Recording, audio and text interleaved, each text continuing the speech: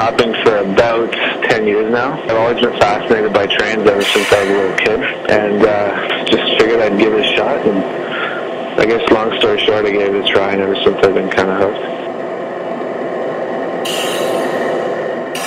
I guess there's a big adventure aspect to it.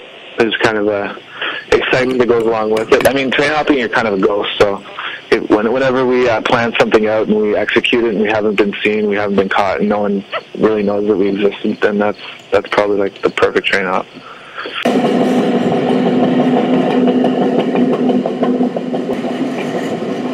Uh, there's a lot of dangers. Uh, there's different kind of dangers. I mean, aside from getting caught, which isn't really so much a danger because it's more or less getting busted and just getting a fine. But the main uh, dangers as far as hazards would be uh, moving trains that you don't necessarily see coming, especially at night. Uh, but sometimes you could be crossing in between a of cars and they could just kick. You might not, again, hear that locomotive because it's far away.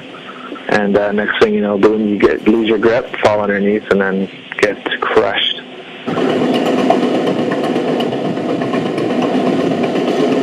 I know growing up, my dad had always said that he'd take me one day to a train hop across the country. I think we tried a few times, but it never really, never really worked out. Last summer, me and my girlfriend, we ended up deciding that we were going to fly from Ottawa to Halifax, start our journey from there, and work our way over to Vancouver. Course, then out of Halifax, we meet Paul. We've actually hopped with trains with a few other times, a good friend of ours now. We met him in Halifax, and we just caught out of there.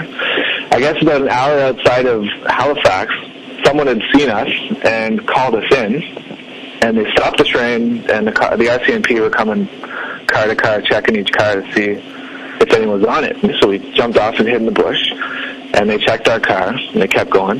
Then we jumped back on the train, and uh, all of it said, well, maybe we should hide on the other side just in case they come back the other way. So we hid a little further in the bush.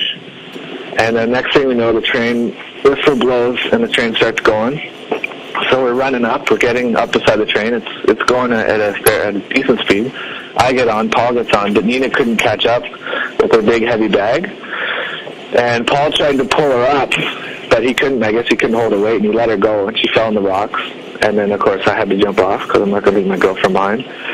And I just remember Paul looking over. He's never ridden a train before. He's all by himself, and the train's kind of taking off. And I'm just, I told him just to keep going because he knew that the next stop was his house. So we we get on the next train that's leaving, and by then it's starting to rain a little bit. But uh, we we're just happy to finally get back out. And then it started raining very, very heavily and we were just wide open on the back of intermodal. Rain's pouring in. Uh, we tried every, we, we tried everything to kind of stay dry, but at, to one point our bags were soaked, our clothes were soaked, everything was soaked, and that was just the start of a long string of unfortunate events on that trip. Then uh, when we were in Quebec City, we ended up getting seen again, and we were stuck there for four days trying to catch out. And of course, I only gave myself two weeks to do this whole trip. So after uh, being put behind about a week, I realized it wasn't going to be possible. So this month, I'm going to I'm going to uh, take an open ticket from work and make sure that I do it because I can't uh, I can't keep putting this off.